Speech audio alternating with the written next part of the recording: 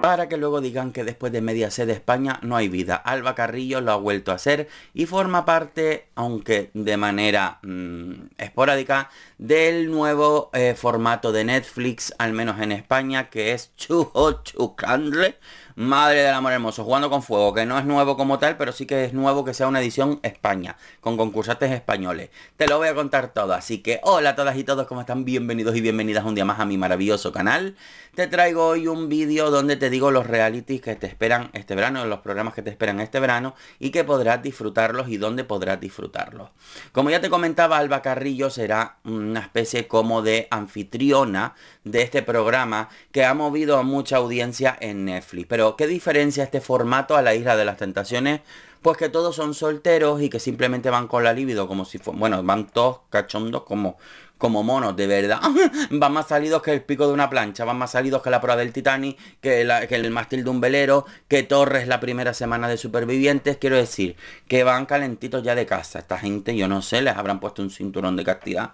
Y luego, oh, oh, llega, se frotan con una palmera por lo menos la edición que he visto. Yo es que veo más otro reality que, que es asiático, que lo, que lo dije con Lada. Y ese es el que más veo yo, más que jugando con fuego, porque aquí veía que era como un poco, pues bueno, en fin. Pero bueno, ¿qué pasa? Que si alguien cae en la tentación, que están todos solteros, Alex, ¿y cómo es que van a caer en la tentación? Pues la tentación carnal, en la tentación de morrearse, un pajipaji, un lo que sea, pues se baja el premio final. Entonces, Alba Carrillo, ¿qué va a hacer en este programa? ¿Va a participar? No, va a ser como una especie de anfitriona, va a ser como una especie de persona que sirva de gancho, como así mismo lo ha dicho el diario Bertele, entre la audiencia y eh, tal. Básicamente es una madrina del formato, porque realmente el formato eh, pues se desarrolla en otra serie de circunstancias que no requieren que Alba Carrillo sea presentadora habitual del programa. Más que nada esto es marketing y bueno, de alguna manera tiene lugar una figura no como Najwa, Ninri, joder, que sí que protagonizó el reality de Insiders como presentadora con una mala hostia que lleva para atrás. A mí esa señora me habla, me echa a llorar. Esa es lo que te digo, que es una actriz como la copa de un pino. Y no por la casa de cartón ni por esas cosas. Yo la conocía desde muchísimo antes. Y a mí siempre me había gustado. Lo que pasa es que siempre he notado como que habla muy bajito. Que a veces yo veía las películas y digo, subtítulos, subtítulos. Pues bueno, Sofía Cristo. Uy, Sofía Cristo. Dios mío, recula. Alba Carrillo, pues estaría ligada a este formato de que él lo podrá seguir en Netflix. Si te gustan estos realities de solteros que se dejan tentar y todo el rollo tal y toda la vaina, creo que este te podría interesar. Lo comentaré, a lo mejor el primer capítulo, el primer episodio, ya veré. Pero normalmente los realities de Netflix, al menos en este canal, no suelen funcionar. Yo comenté Insider, yo comenté Amor Confianza, comenté otro que era parecido a Amor Confianza y no les suele gustar. Pero en verano es lo que hay, ¿no? Entonces ya veremos si lo traemos o no. Por lo pronto ya sabes que este lo podrás ver en eh, Netflix. El siguiente programa que vuelve, que obviamente no voy a comentar, el año pasado comenté un programa, pero solo para decirles cómo había vuelto y mis impresiones, es el Grand Prix del verano. Ya saben que es un concurso donde por pueblo van compitiendo, haciendo una serie de competencias, una serie de pruebas. Muchos lo han comparado con humor amarillo, pero no tiene nada que ver y bueno, pues para ver cuál es el, el pueblo que, que, gana, ¿sabes? Pues van pasando dos pueblos de dos en pueblo, se clasifica uno, de dos, y al final los pueblos que han ganado se enfrentan entre ellos para ver qué pueblo se lleva el gran premio final. Recomiendo ver el Gran Prix, pues mira, unas risas te vas a echar, es un formato bastante ligerito, lo puedes ver en la televisión pública, es decir, en televisión española, y considero que va a estar muy guay. Entonces, vuelve a estar presentado por Ramón García y lo podrán ver en todo este verano. Así que ya tienen planes para este verano, no me digan que no.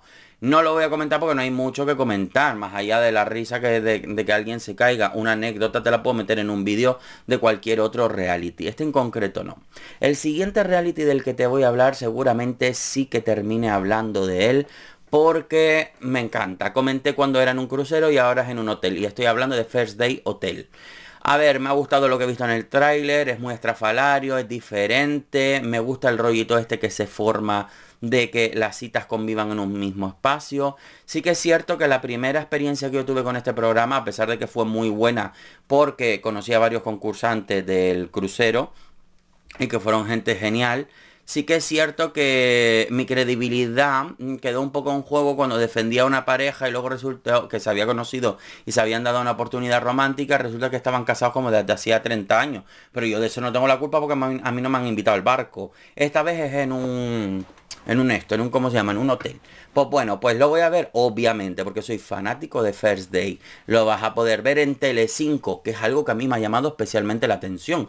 Normalmente Tele5 por este tipo de formatos no apuesta y los manda a 4. Y si funcionan, los mandan a Tele5. ¿Sabes lo que te digo? La Isla de las Tentaciones mismamente empezó en, en Tele5. Eh, perdón, en 4 y cuando vieron que arrasó en audiencias lo mandaron para Telecinco pero que pagando leche, porque claro, no podían dejar la oportunidad de que Telecinco se posicionara y se consolidara en audiencia porque, eh, claro, no iba a superarle 4, aunque sea de la misma empresa. ¿Pero por qué? Bueno, pues porque Telecinco compite eh, literalmente contra Televisión Española y Antena 3, mientras que 4 no compite con nadie. Entonces sería un poco raro, ¿no? Prefieren esos datos de audiencia para su cadena. En fin, este formato en qué consiste? Pues van a tener una serie de citas. Yo no sé si en esta ocasión también serán rotativas, como pasó en el barco, que al final terminaba todo el mundo follando con todo el mundo, menos con quien tenía la cita. Yo la verdad, a mí este reality sí que me gusta. Así que me gusta, tengo pensado verlo y la verdad es que pinta muy bien. Si lo quieren ver también, pues ya les digo que lo van a echar en Telecinco durante este verano porque se lo han dejado como un formato veraniego. Y esos son los realities que vas a poder ver este verano. Es un vídeo sencillito, explicativo, tal, tal. Y ahora mm, ya hemos pasado a, a, eso, a explicar un poco lo que pasa con Supervivientes All Star. Supervivientes All Star se está consolidando como lo más visto de la cadena de Telecinco, al menos en lo que va de semana. Vale. ¿Qué quiere decir esto? Pues que si están en el tercer lugar de las, de las cadenas más vistas es gracias a Supervivientes All Star. No creo que se vaya a ampliar una semana más o dos semanas más porque ellos tienen los plazos muy comedidos. Pero estamos ante seguramente las últimas tres semanas de concurso, disfrutarlo durante el mes de julio y ya estaría. Pero en Tele5 en agosto poco trabajan, por no decir nada, y no va a haber reality. Entonces, ¿qué va a pasar con el canal? ¿Qué va a pasar con eh, eh, si, si, tú hablas de reality, pues yo voy a seguir a lo mío.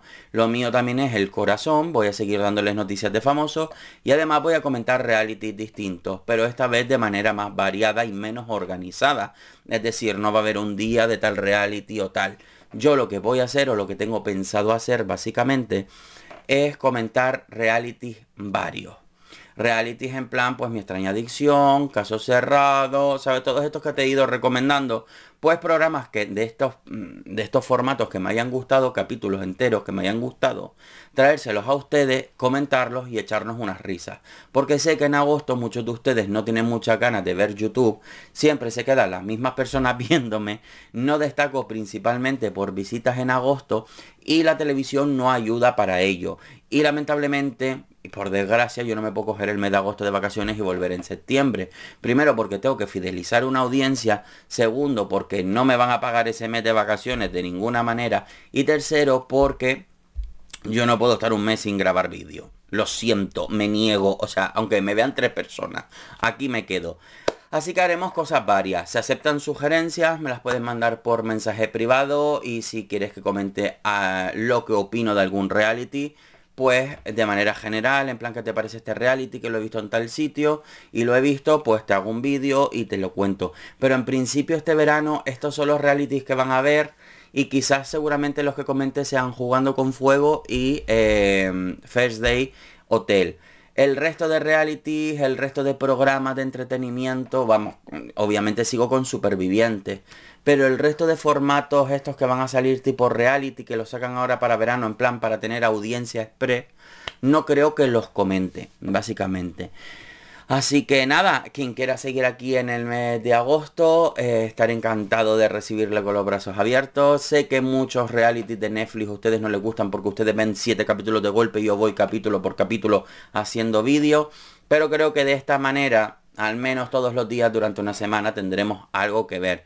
Y obviamente seguiré con la Crónica Rosa, seguiré la vida de los protagonistas de las últimas ediciones de Supervivientes de la Isla de las Tentaciones y nos pondremos un poquito al día con todo lo que ha pasado con el mundo del chismorreo, Alex pidiéndole matrimonio a Gabriela, aunque sean chismes que lleguen tarde, pero al menos hacerlos para hacer nuestros propios aquelarres. Esa es otra de las cosas que va a continuar habiendo en el canal, el aquelarre.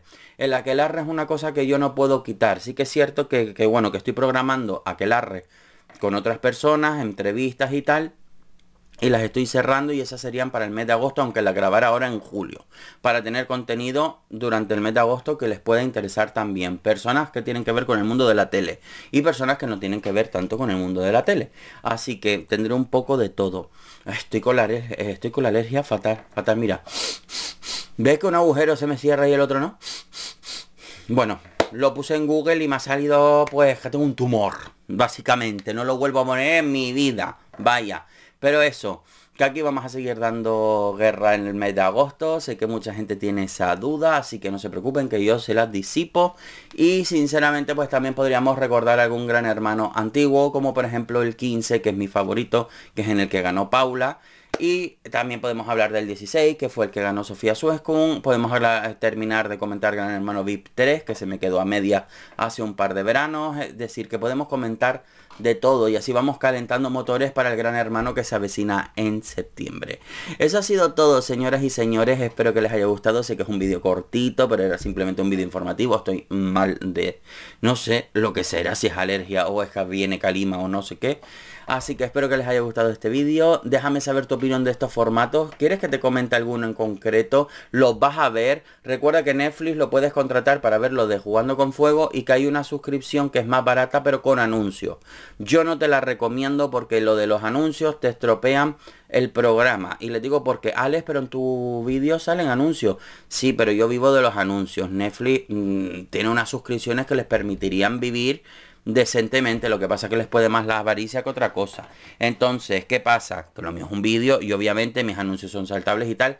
Y mi experiencia con esta suscripción es que no son saltables y a veces es un minuto cada 7, 8 de serie.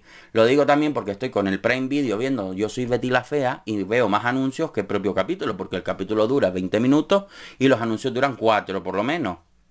Entonces les recomiendo que pillen el Netflix un poquito más caro y que se vean el reality del tirón. Y luego pues lo que quieras ver en Netflix, luego ya le das de baja. Y si no, pues ya saben las alternativas, yo ahí no me puedo meter y no les puedo ayudar en nada, ¿vale? Yo en concreto no puedo. Eso ha sido todo, señoras y señores. Espero que les haya gustado y nos vemos muy prontito en un siguiente vídeo. Chao.